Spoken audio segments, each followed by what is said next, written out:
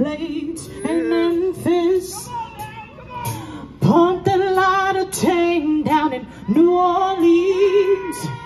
But I never saw the good side of the city until I hitched a ride on the Riverboat Queen.